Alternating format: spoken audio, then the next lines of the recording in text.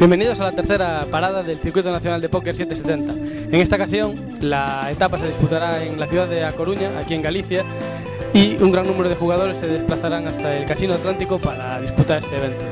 Ayer tuvo lugar el satélite clasificatorio donde se repartieron 13 entradas y los jugadores se repartirán entre el día 1A hoy y el día 1B mañana. Grandes jugadores como Paco Torres el Tren, José Manuel Gómez Rebenaque, eh, David Luzago y otros muchos se desplazarán también hasta el casino para disputar esta nueva parada. Y vosotros, si queréis saber lo que les pasa a todos ellos, en poker10.com.